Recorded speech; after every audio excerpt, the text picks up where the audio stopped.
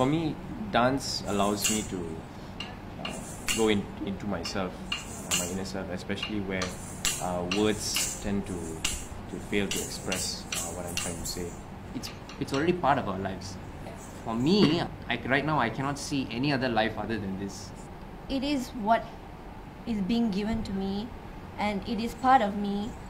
And as I grew stronger, I started becoming natural with dance.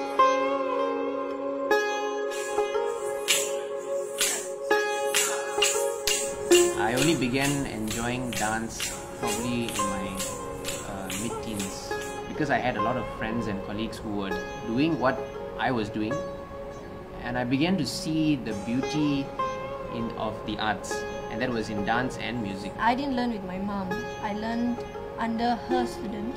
After when she opened her school, that's when I I felt weird learning with my mom at first. Then I was then I felt oh it's it's it's quite nice. Over the years, as we were learning dance with her, we kind of developed a certain discipline uh, to a certain level, especially when it came to dance rehearsals and dance classes, because a teacher has to be a teacher. Sometimes uh, being strict is, is very necessary.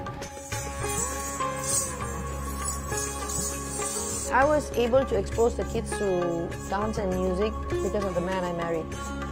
I had already become a, a famous dancer, um, having joined Sutra Dance Theatre.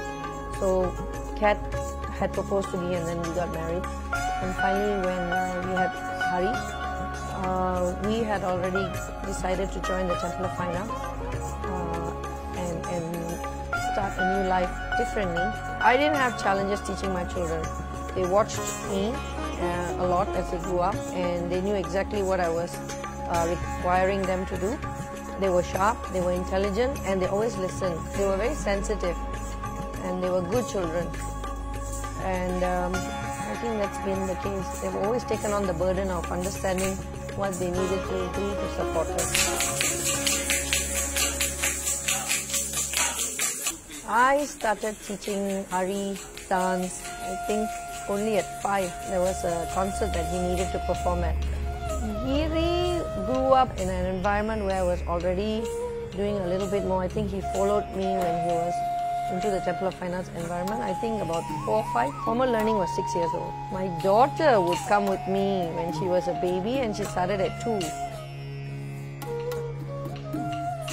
The nice thing about being um, in an artistic family is that we naturally absorbed all that was around us, especially watching our parents, you know, and I think we've learned a lot outside the classroom and watching them in action and uh, watching them uh, deal with different kinds of people with, with students.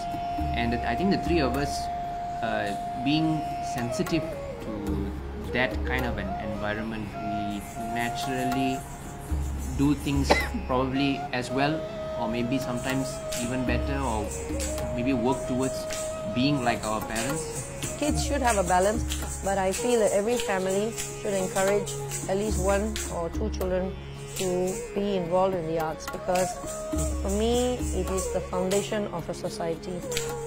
The academic emphasis as well as artistic pursuits and also athletics. It's something that we've been encouraged ourselves and therefore it's the same formula I'm using we've used with our kids.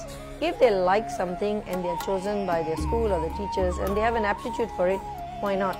I can only hope and wish that our family especially is able to inspire a lot of the upcoming generation kids. I mean anybody because um, I'm really grateful that, that uh, we're doing this together. It's actually we owe it to our parents.